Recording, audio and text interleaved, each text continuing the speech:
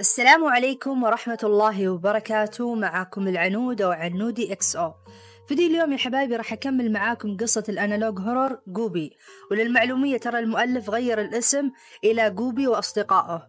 فقبل لا نبدأ القصة يا حبايبي لا تنسون اللايك والاشتراك وتفعيل زر التنبيهات عشان يوصلكم كل جديد. وصلوا على النبي جميعا وخلونا نبدأ الرعب.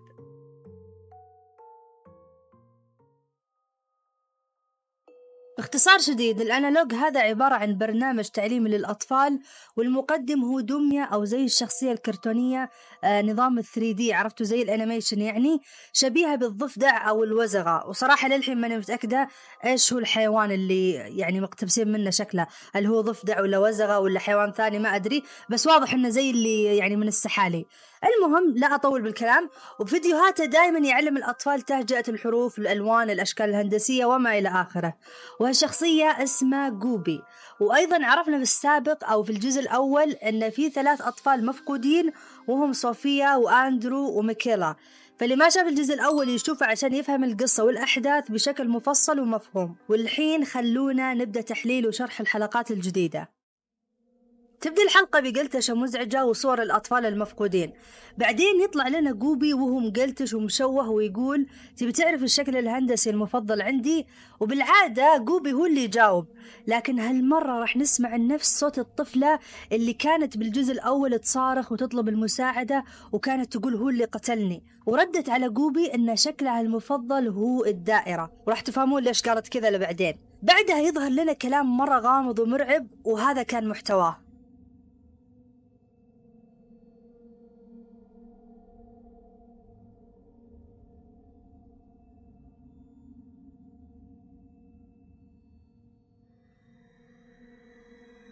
ثم يرجع جوبي طبيعي ويبدأ يورينا صور الحيوانات وأسمائها. لكن الغريب أنه لما جاي يذكر اسم الخنزير وأنتم بكرامة قالت الطفلة نفسها أن هذا الحيوان هو الخنزير. وبعدها جوبي سكت شوي ورجع يقلتش وكأنه جوبي يتحكم فيهم وباللي يبغون يقولونه لأن الترجمة بالحلقة للآن مو مفهوم منها شيء. ولاحظوا أن من بداية الحلقة في صوت شخص يتنفس بطريقة مرعبة. وراح يطلع لنا بعدها رسائل ثانية خفية وكأن اللي قاعد يقولها أحد الضحايا.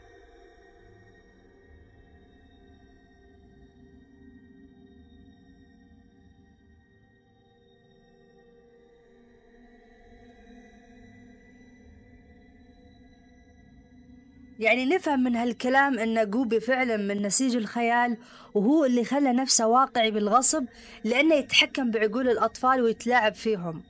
بعدين يرجع جوبي طبيعي ويسأل هل تحبون الحيوانات؟ وكالمعتاد وبشكل غريب الطفلة هي اللي تجاوب عليه وتقول إيه أحب الحيوانات. فيقول بعدها جوبي هل تبي تعرف حيواني المفضل؟ وهنا يبدأ الرعب لما يطلع صوت شيطاني يقول حيواني المفضل هو الإنسان وإن البشر أيضا حيوانات. بعدين تطلع صور سريعة لجنين في بطن أمه وهنا على طول جاء في بالي كلام الطفلة اللي قالت شكل المفضل هو الدائرة وممكن قصدها بالدائرة تشبيه لشكل الجنين وهو في بطن أمه أنه على شكل دائرة عرفتوا كيف؟ عشان كذا اختارت هذا الشكل الهندسي فهل ممكن جوبي ينولد في عقلهم من بداية ولادتهم؟ أيضا من ضمن الصور بوستر لطفلة جديدة مفقودة اسمها آبي لانج وانفقدت تاريخ 2024 يوم 3 يناير هل ممكن هي الطفلة المفضلة عنده؟ عشان كذا جاب صورتها مع صورة الأم اللي في بطنها جنين. ثم بعدها تقول الطفلة لجوبي أن أنت مو بحيوان. وهنا تقلتش الشاشة وتطلع صور صادمة لجوبي الحقيقي. لكن وجهها هو وجه جوبي بينما الحقيقي مخربش عليه. ونشوف أن في أطفال معاه بالبرنامج. واللي واضح لي أن برنامجه قديم جدا ممكن من الخمسينات أو الأربعينات مثل ما هو واضح قدامكم في الصورة. أيضا بتظهر لنا عبارة أن الحيوانات برضو لها أسنان.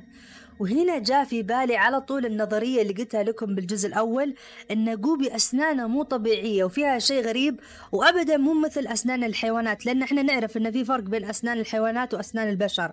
بينما جوبي هو حيواني. إحنا قلنا يا أنه ضفدع أو وزغة لكن أسنانه أسنان بشرية ما هي أسنان حيوان. يعني لو تركزون بالحلقات حقته.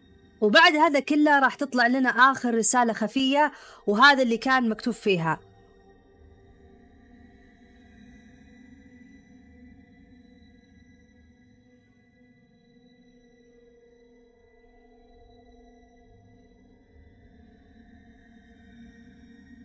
أتوقع هالرسالة وضحت لنا كثير أن جوبي ممكن يكون شيطان وتلبس بالبرنامج والمذيع والأطفال اللي يشاهدونه.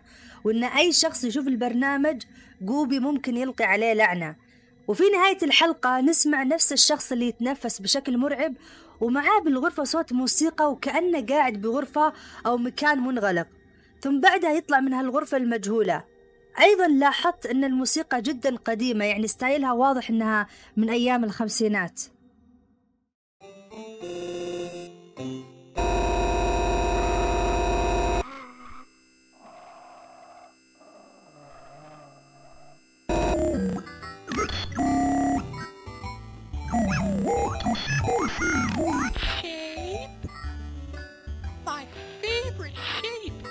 My favorite shape is a circle.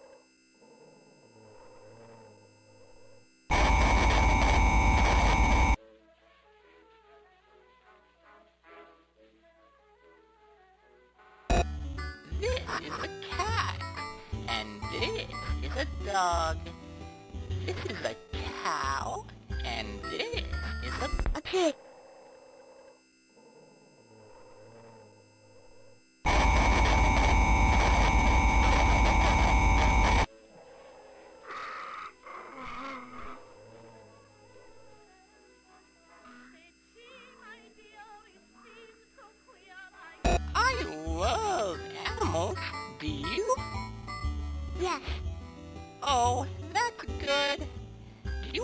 My favorite animal? It's one of these. Have you ever seen one of these? It's called a...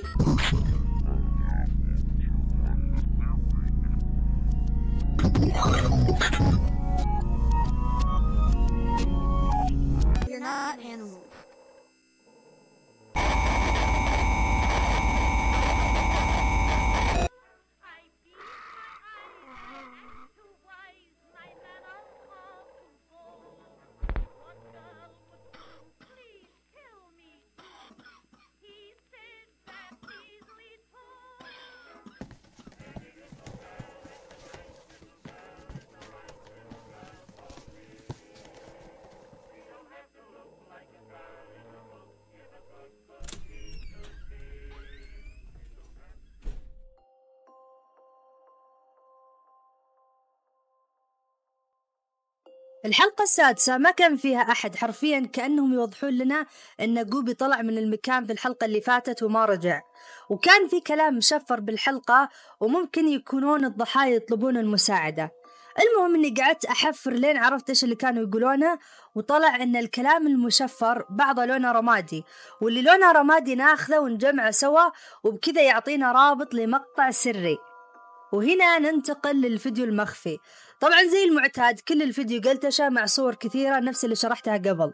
لكن أيضا هالمرة في كلام مشفر ولما نرتبه يطلع لنا هالكلام.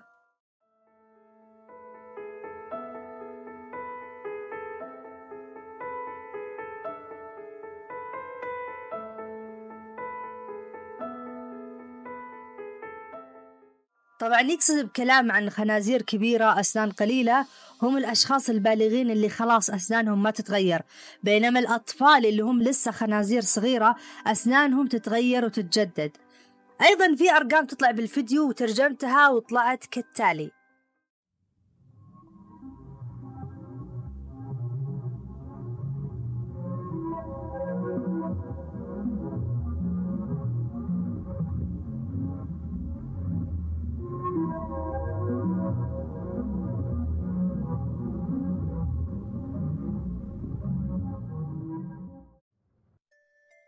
بعدين في نهاية الفيديو السري في مذيع أو زي راوي يتكلم عن الحيوانات اللي تخزن معلومات كثيرة في مخها من جيل إلى جيل.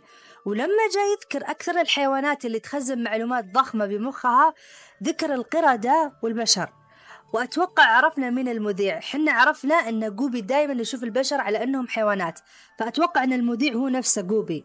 أيضا عرفنا أن في ضحية جديدة غير آبي وهو طفل عمره عشر سنوات اسمه جيمس. تبدأ الحلقة السابعة بجوبي وهو يقول اليوم راح نتعلم الأصوات. وفجأة قام يقلتش وأنت بكرامة قام يتقيأ ونتفاجأ أنه استفرغ شخصية جديدة مجهولة. وهالشخصية هذه تشبه الضفدع الأخضر لكنه ما يتكلم مجرد يطلع أصوات غريبة من فمه. وبهالحلقة علم الأطفال صوت العصافير والسيارة والطيارة وما إلى آخره. لكن لما قال جوبي تبي تعرف إيش الصوت المفضل عندي؟ صارت الحلقة تقلتش وطلع بوستر لضحية جديدة. لكن هالمرة الضحية مراهق وعمره 14 سنة واسمه جوشوا وهو أكبر واحد بين الضحايا السابقين. وهو نفسه اللي ذكروا اسمه بالكلام المشفر اللي قبل لما قالوا له تعال إلعب مع جوبي بعدها طلعت أرقام سرية ولما نترجمها تطلع معانا هالجملة.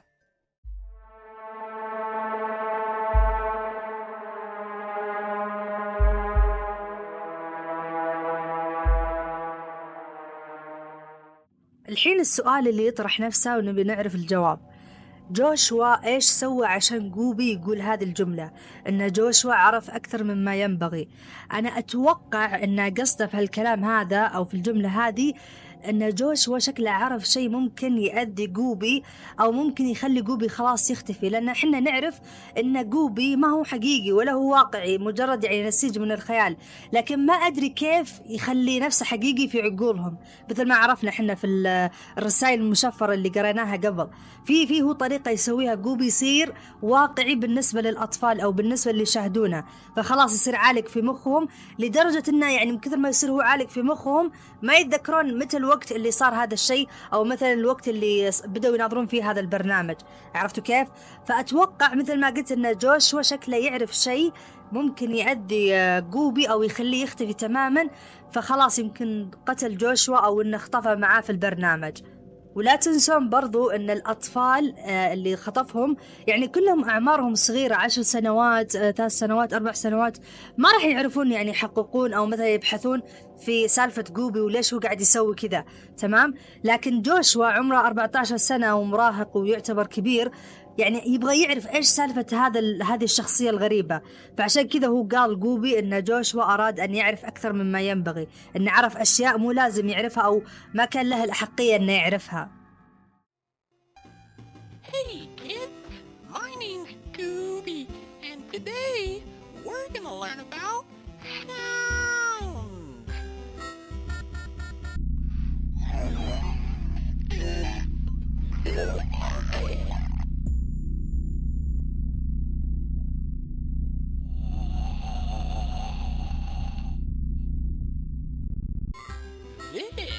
a bird. And this is a car.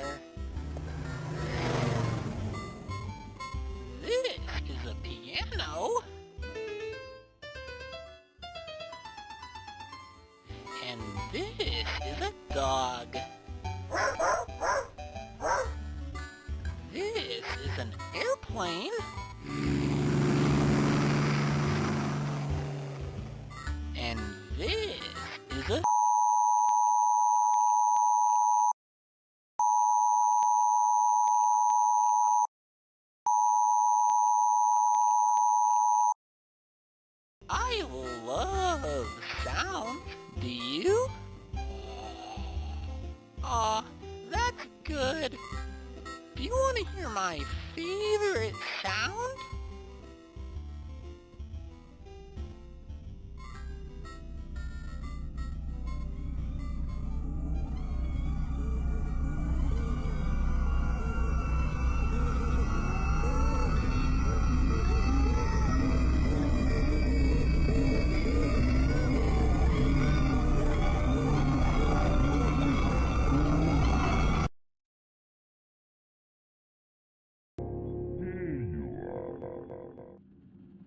آخر حلقة نزلت وهي الحلقة الثامنة وكانت تتكلم عن تعليم الأطفال الأطعمة. بس هالمرة ظهرت شخصيات جديدة مع جوبي غير الضفدع الأخضر اللي شفناه في الحلقة اللي فاتت.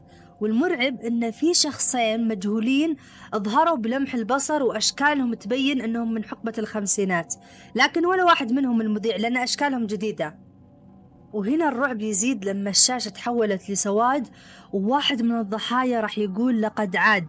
ويقصدون أن جوبي الشيطاني رجع لهم لكن ظلام ما تشوفون شيء مجرد تسمعون وترجمة. وهنا نسمع جوبي يقول لهم بصوت خبيث إيش تعلمتوا؟ وأيضا هل تعلمتوا أنكم تتكلمون لما أحد يكلمكم؟ يعني زي اللي لا تتكلمون إلا إذا أحد كلمكم. والضحايا المساكين يرددون تعلمنا الأحرف والأشكال والألوان لكن يتغير كلامهم إلى كلام مرعب ودموي وصاروا يقولون هذا شعر هذا أظفر يعني بدال ما يقولون هذا تفاحة هذا مثلا مثلث يعني الأشياء الأشياء التعليمية العادية صار يتغير كلامهم لأشياء مرعبة زي مثلا يقولون أن هذا شعر هذا أظفر هذا لسان هذا رموش هذه رموش هذا حاجب إذن قدم لسان. فأتوقع أني وضحت لكم الصورة عن إيش كانوا يتكلمون.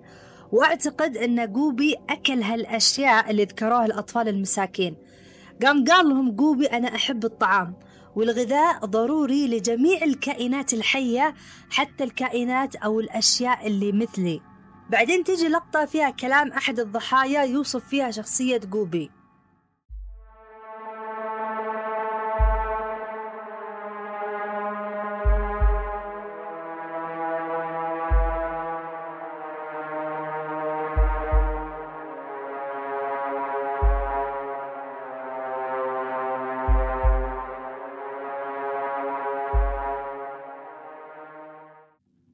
بعد هالكلام يطلع لنا تلفزيون موشوش ونشوف إن جوبي قاعد يتكلم مع أحد الضحايا السابقين ويحاول يخطفه. لكن جوبي يسوي نفسه بريء ويقول للضحية ناظري في عيوني واسمعي صوتي وثقي فيني وأنا مستحيل أكذب عليك فلا تخافين. فيعني طلع كلامنا صح ان فعلا جوبي يخطف الأطفال عن طريق نظرهم في عيونه وسماع صوته وبكذا ينسج نفسه في داخل عقولهم عشان يكون واقعي. واتضح برضو إن في ضحايا كثير غير اللي ذكرتهم لكن يعني ما جابوا اسمائهم لكن مرة مرة كثيرين. أيضا يا جماعة اكتشفت شيء مرة مرعب إن الشخصيات الجديدة اللي ظهرت بالبرنامج هم ضحايا جوبي يعني لهم أصحابة ولا شيء. والدليل أن واحدة من الضحايا المجهولة كانت صورتها بالضبط على صورة واحدة من الشخصيات الجديدة اللي بالبرنامج. فمعناته أن جوبي لما كان يكلم الشخصيات الجديدة هو بالأساس كان يكلم الضحايا المساكين اللي تحولوا لشخصيات 3D وبالنهاية جاء نور فلاش قوي ومعاه جملة سريعة وهي نحن ليس أول ضحاياه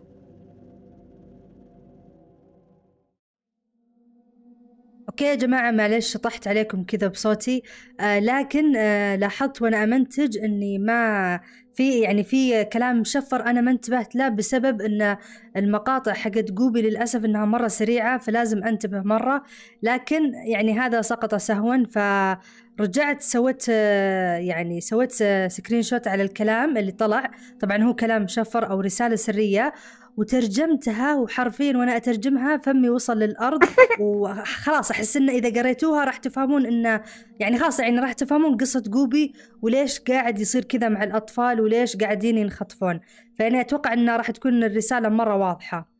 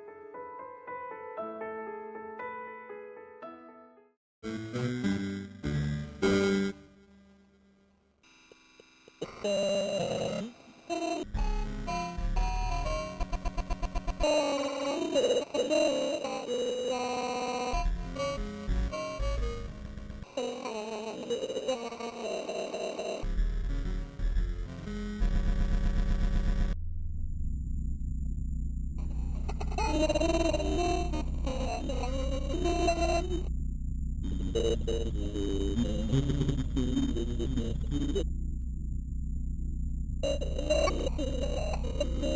go to the next slide.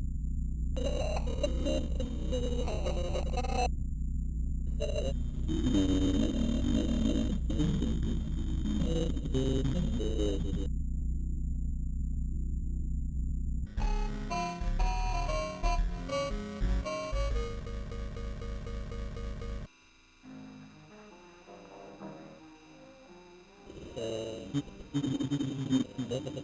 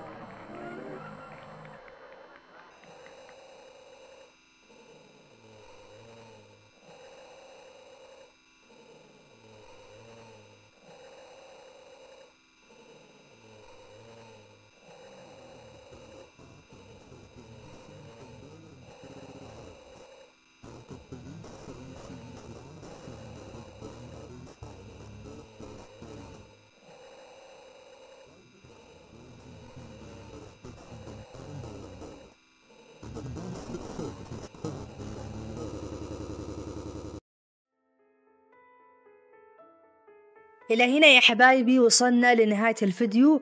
ضروري تكتبوا لي تحت في الكومنتات إيش رأيكم في التحليل وإيش نظرياتكم عن الحلقات الجديدة.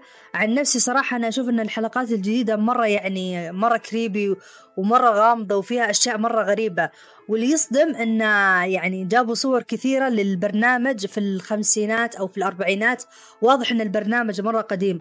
والدليل أن لونه أسود وأبيض يعني ما في ألوان حتى. فأنتم اكتبوا لي تحت رأيكم في الكومنتات وأيضا إذا نزلت حلقات جديدة آه، علموني برضو عشان أسوي لها تحديث وأحللها معاكم. وبس يا حبايبي لا تنسوني من اللايك والاشتراك وتفعيل زر التنبيهات عشان يوصلكم كل جديد. مع السلامة أشوفكم بإذن الله في المقاطع الجاية.